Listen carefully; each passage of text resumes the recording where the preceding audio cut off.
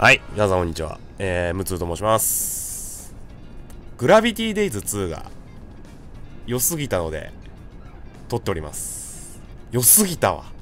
いや、マジでね、あのー、えっ、ー、と、まあ、普段僕ゲーム実況してるんですけど、もうこのゲームは実況しなかったんですよね。1は実況したんですけどね。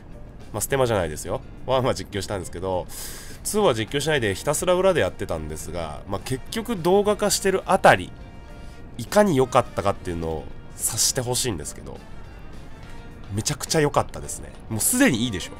もうなんか今すでに心の金銭触れてる人いるでしょ。いや、わかる。わかるぞ。俺はわかる。いやね、すげえいいゲームだったんですよ。まあちょっとその、まあいいところいっぱいあるんですけど、ちょっとね、ぶっちゃけ何も、なんだろう、台本とか、何喋ろうっていうのは、断片的に考えたんだけど何も用意してないのでもうくっちゃべる。もうぐったぐたでもう尻滅裂純不動で話していくんですけどまあ何がいいってね、まあ、いっぱいある中で見てくださいよこの街を、まあ、グラビティデイズってねこう重力を操るゲームなんですよねもともと。これ今無重力状態でえー、っと、まあ、こっち側に重力やるとそっち方向に落ちてってるんですよねこれ。空に落ちていくっていう、まあ、キャッチフレーズなんかもありましたけど、まあ、立ちは分かりやすいかな。このまま行くと、まあ、着地するわけなんですが今こういう方向に重力がなってるわけだよね。この重力の向きを自在に操って、えー、ストーリーを進めていったりとかね、まあ、していく基本的にゲームなんですけど。でまあそのストーリーがどう始まるかっていうとえっ、ー、とまあグランドセフトオートよろしく。あのこうシナリオが始まる場所があってそこに行くと、えー、シナリオが進んでいくって、まあ、それ以外は基本的に、まあえー、オープンワールド、えー、自由に動けるんですけどこの、まあ、僕ねこれ一番好きな街なんですよ。このえっ、とねなんだっけな。レイレイバビーナ。レイバビーナ違うな。レイコロモコロモスナか。えっ、とレイコロモスナが一番好きで、まあ、ちょっとここをね適当に歩いていくだけの動画を作ろうかなっていう。まあここだけじゃないんだけどね。もうとにかく何て言うのかな道草が最高のゲームでして。まあちょっと飛ぶかじゃ。あ分かった分かった。飛ぶわ。俺は極力歩きたいんだけど。このね街並みの素晴らしさ。えもうやばくない？これ。もうちょっと俺の心の金銭に触れまくりなんですけど。なんつうのかな？もうこの貯水タンク1つ取ってももういいっていう感じなんですよ。このアンテナ。このパラポナアンテナ。いいんすよね。でねこのゲーム今作まあ2ってことで1がもともとあったけどまあ2もう本当にねいろいろパワーアップしすぎていろいろ喋ることあるんですけど写真が撮れるんですよねこうやってね。これ今カメラを構えてる状態ですね。これあの普通にカメラ構えてる状態で三脚使うと自分も映れるんですよ。でもさこれだけで正直絵になるんだよな。これでポーズも撮れてまあえ、ー、となんだどれにしようかな。これはい終了。はい紙あ、ちょっとあれだな、これ。効果入っちゃってんだ。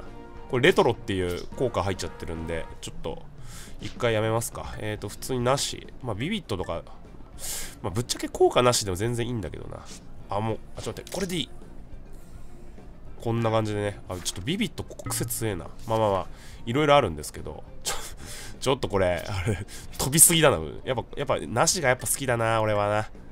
フィルター効果はなしで撮るのが一番いい。まあ、とにかく何が言いたいかっていうと、まあ、写真が撮れるんですけど、どこで撮っても絵になるせいで、めちゃくちゃ撮っちゃうんですよね。だから、まあ、言ったらね、本編関係ないんですよ、この写真なんて、ね、撮ったところで。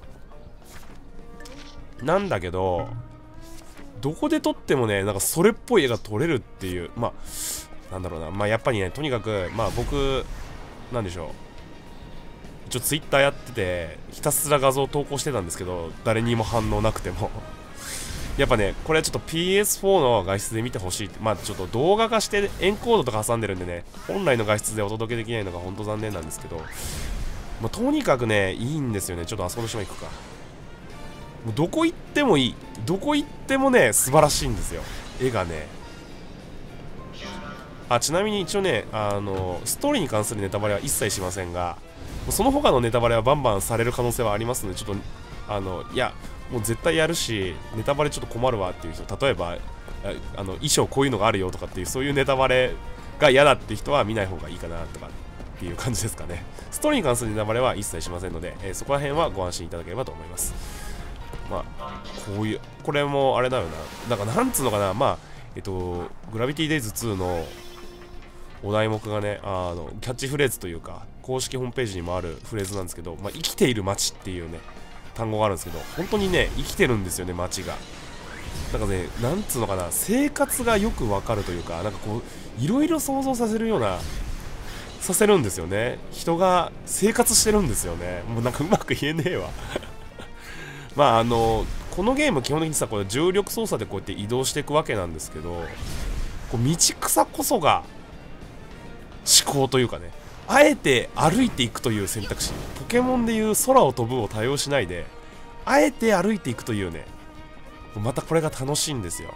こうやってでこうなんか何か運んでんなとかさ、ま、この辺多分その工業エリアっぽい。レイコルモスナの中でも工業エリアっぽい場所なんですけど。もうさここのなんつうの。これあの停泊船が船が飛んでくるところの停泊する場所なんだけどこういうところもさちょっと高いとこ登ってもうこれでよくない？よよよ良いよね非常にね。なんかポーズ取らせるか。まあねあんまあウィンクが最近はおいいね。これもいいね。あシャッターチャンス逃した感じはありますけども。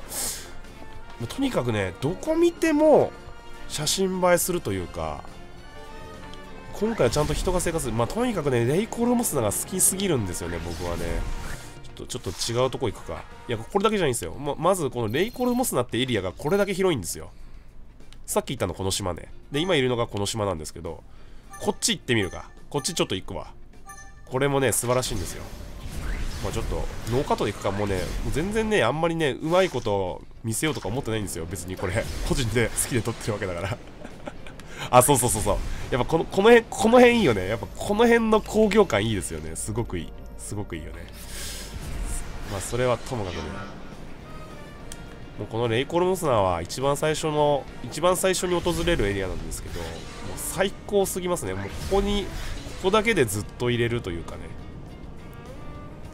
なんかなかなかゲームが進まないんですよね。まあストーリーがもちろん本筋なんですけどやべやべ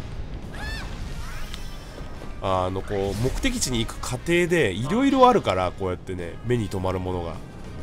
でお金とかもそこら辺に落ちてるんでお金拾ったりとかこの観光名所を回ってるだけでおなんだなんだこりゃみたいな。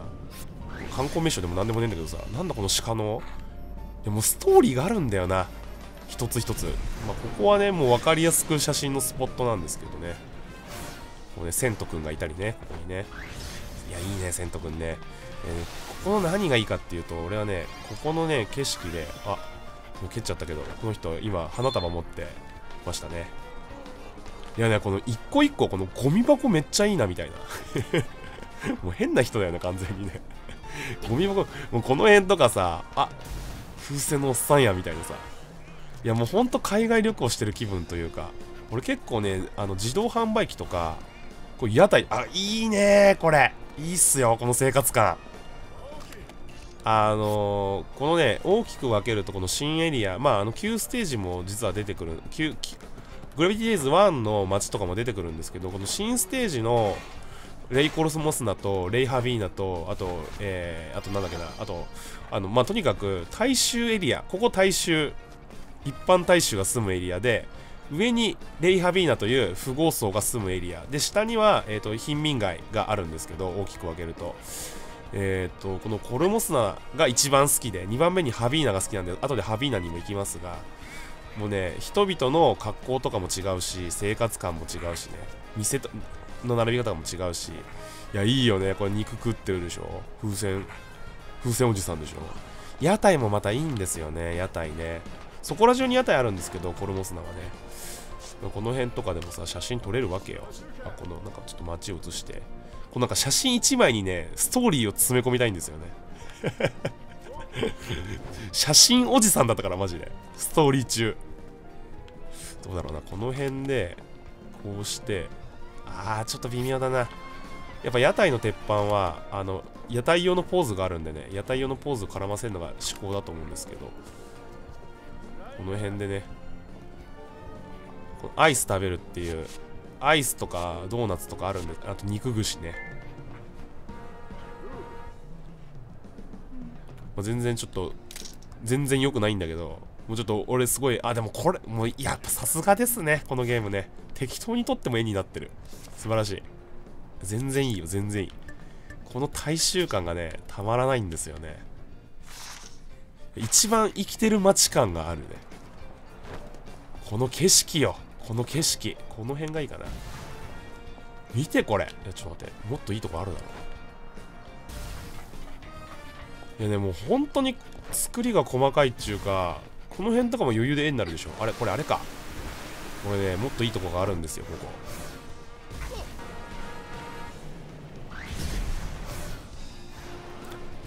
あったあったあったあった。もうこの辺の雰囲気も超好きなんだけどさ。この辺の雰囲気。あとかこういう看板とかね。すごいいっぱいあるんですけど一個一個が細かいんだよね。でね綺麗じゃないんですよ。いい感じの大衆感がねあるわけですよ。この感じこのこのちょっと日陰にあるごちゃっとした感じ。めっちゃいいでしょ控えめに行って。もうこの辺すごい好きでかなり写真撮りましたね。でこういうところがね結構いっぱいあるんですよ。こここ以外にもね。ここ一番見つけやすいんでここに来ちゃいましたけど。あとこの螺旋階段好き。螺旋階段じゃねえわこれ。この折り返し階段っていうの。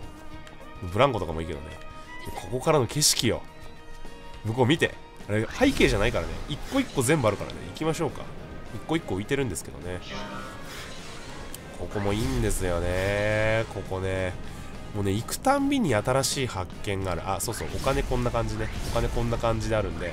お金集めてるだけでもだいぶ時間潰しになるでお金集めてるうちになんかすごいお何ここみたいなところもいっぱいあって。こういうところもこうこういうの入りたくなるよねついついね。もう入るんだけどさ。入ってトンネルくぐっていくとどこに繋がってんのかなとか見ていくわけですよ。こっちどうだろう。おおいいなマジで。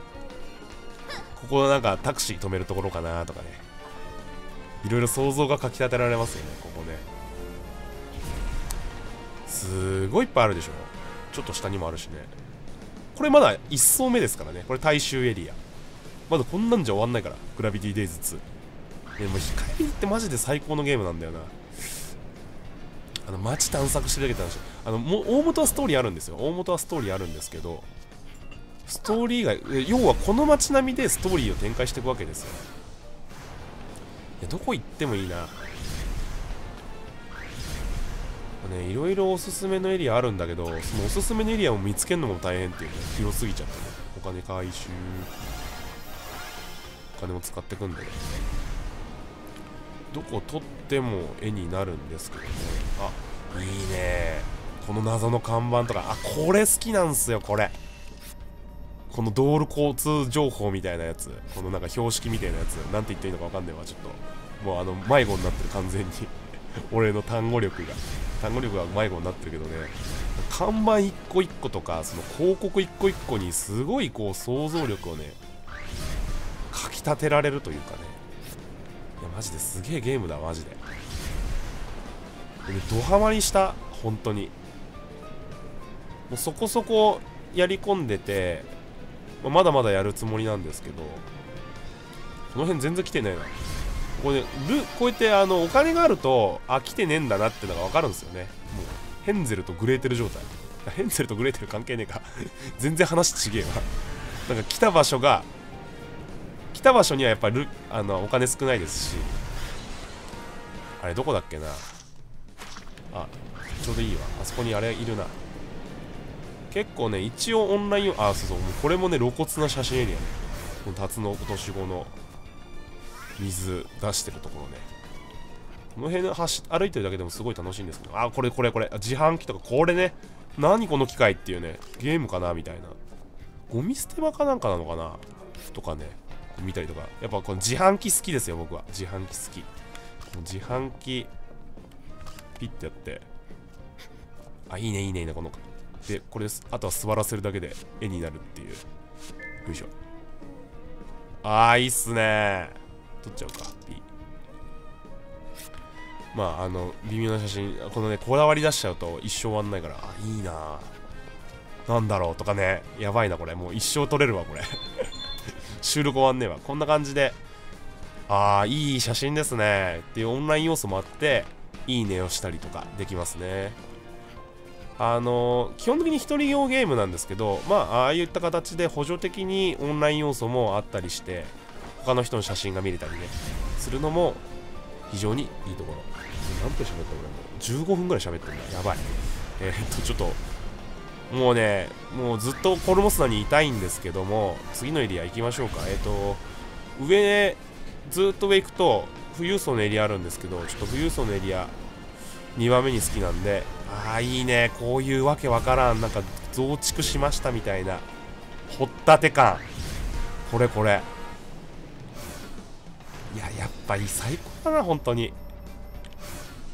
何取ってもいいわ。じゃあじゃあ移動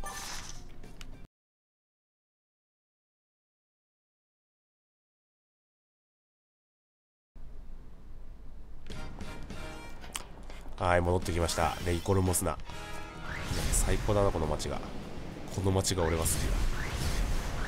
でえっ、ー、と道草の話しかしてなかったんで、えー、他の話もしていこうかなと思うんですけどえっ、ー、とねうーんまあえっ、とグラビティデイズそもそもやったことないっていう人は今までの説明でまず十分 十分十分じゃないかもしれないけどかなと思う。まあ、もともとは戦うゲームなんですけど、まあまあまあ、いっか。別にいいやろ、俺の好きなように喋れば。あの、サイドミッションが今回すごく多くて、で、えっ、ー、と、めちゃくちゃ多い。もうめちゃくちゃ数多いんですよ。まあ、えっ、と、ビータの時はそもそもサイドミッション自体がなかったんですけど、えっ、と、1のリメイクが PS4 でされた時に、えっ、と、いくつかサイドミッションがという新要素が追加されたんですがそれは別にでもねあの一個一個のストーリーのボリュームもあったんですけど、まあ、数自体はそんな多くなかったんですが今回はねサイドストーリーがすごく多くてでこの例えばコルモスナの住人のサイドミッションもあればハビーナ上のね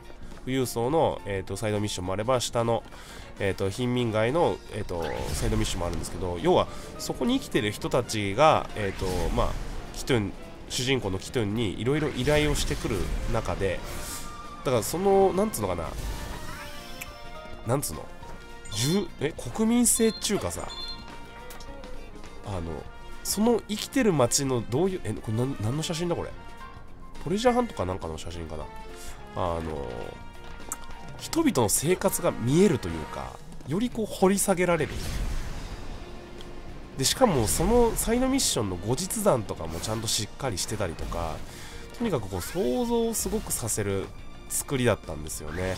だからまあえっと街中もこのカメラがあることによってっていうわけじゃないですけどカメラがあったりとかこういうお金を回収したりとかで街中回りまくって街中堪能しまくって写真撮りまくってでで挙句そのサイドミッションでこの街に住む人たちのミッションをどんどん受けていくとやっぱ愛着が湧いてくるわけですよ。いろんこの、ま、街に対してとか。まあいろんな街があるんで多分好きな街が絶対あると思うんですけどね、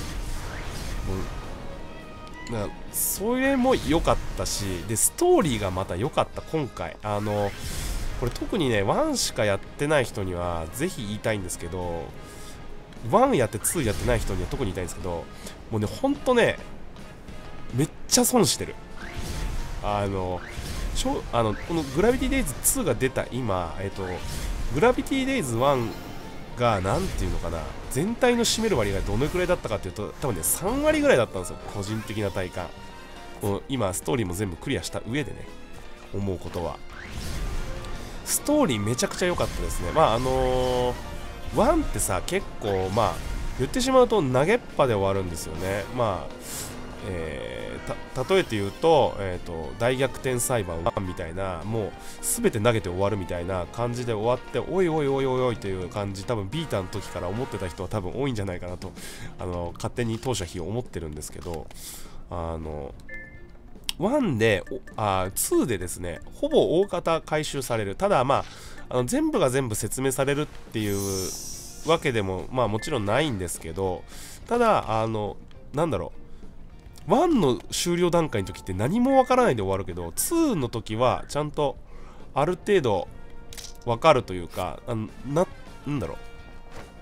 いい具合に想像の余地を残して終わ終わるというかちゃんとやっぱねあの完結編名乗ってるだけあってねちゃんと完結してる感はありますね。あのまあキトゥンの生い立ちっていろいろあるんだけどね。もともとはえっ、ー、とはるか上空から落ちて記憶喪失で落ちてきて自分が何者か分かんない状態で始まるんですけどその辺が、えー、ちゃんと答えもありますしあと良かったのはねえっ、ー、とその1のサイドミッションとかで出てきたキャラクターが、えー、あサイドミッションとかメインストーリーで出てきたキャラクターがかなりたくさん2で出てきます。でその後どうなったかとかっていう話とかもちゃんと出てきてすごく良かったでねえっ、ー、とまあね、2から全然やっていいと思うんですよ。2からやって全然いいゲームだと思って、まあ実際公式ホームページでも、いや、1やってなくても全然大丈夫ですよっていう文言が、まあ、書いてある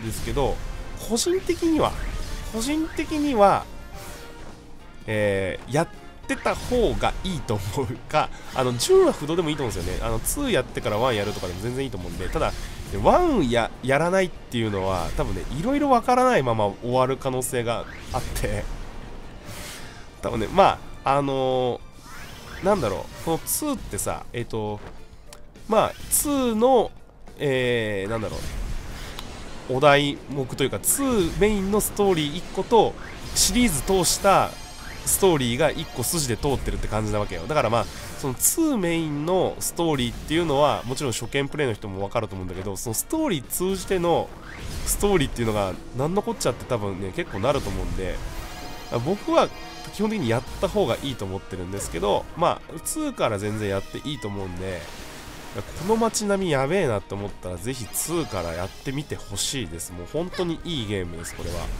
で1しかやってなくていやもう1話覚えてねえしなとかあのいやまあ1楽しかったけどもう1でお腹いっぱいかなって人は何言ってんだと。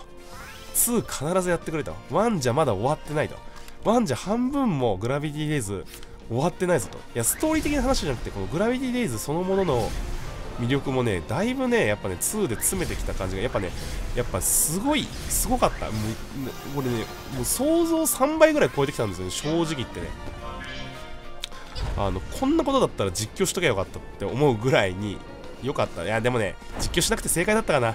もうね延々と道草食いたくなっちゃうんでやっぱゆっくりやるのに適したゲームですね。ほんとゆっくり自分のペースでやれるゲームなんでね。オンライン要素じゃなくて、まあ、基本的に1人プレイなんでね。そこもいいところですよね。あのオンライン要素もあるけどオンライン要素も含めて1人プレイなんですごくいいと思います。で何がさらにいいかっていうとねこれ来週に無料で DLC であのストーリーがまるっと結構なボリュームで追加されるんですよね DLC で、まあ、ワンやってる人のおなじみの苦労編苦労苦労が操作できるストーリーが、えーとまあ、来週に無料でダウンロードできる。これもともと有料にするつもりだったらしいんですけど、えー、と無料になったと、まあ、発売日延期したからその代わり無料にするよって話で無料で出てくるって話で、ちょっとまだまだグラビティデイズ2終われないなと。いや、最高なんだよな、やっぱりな、このゲームな。で、ストーリー良かったんですよね、やっぱりね。ストーリー良かった。だから、1やってる人は絶対2やってほしい。本当にお願いだから2やってくれ。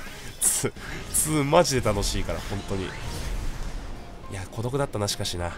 誰にも、なんかこう、僕結構、まあ僕個人で Twitter やってるんですけどね、結構個人でね、発信はしてたものの、あの、反応がほとんどなくて、ああ、多分あんまり僕のフォロワーさんで、グラビティデイズ2やってる人いないんだなって思いながら、あの、淡々と捨てましてたんですけど、でもね、本当にいいゲームです。本当に、えー、っとね、探索しがいがある。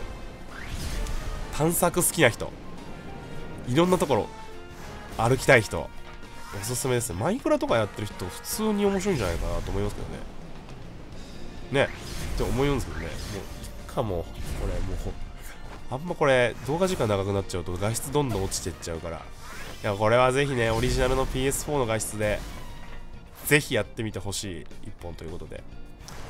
いやー喋ったな。もう満足。結構かなり満足。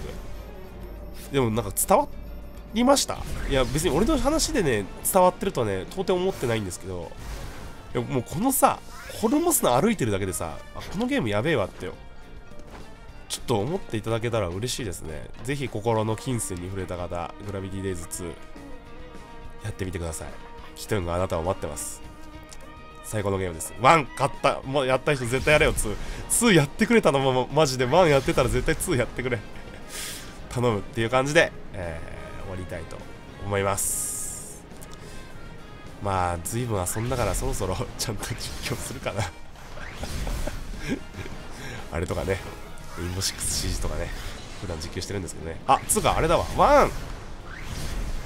やったことない人。あなんかねムツって人がなんか実況してるらしいんで。いや俺俺見たらワンのストーリーも分かってね。ワンのえムツさんの実況を見ながら2をプレイするっていうのでもう一挙両得なんじゃないかなというところで。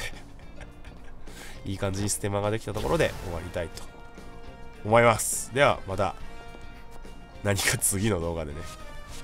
お会いしましょう。さらばだ。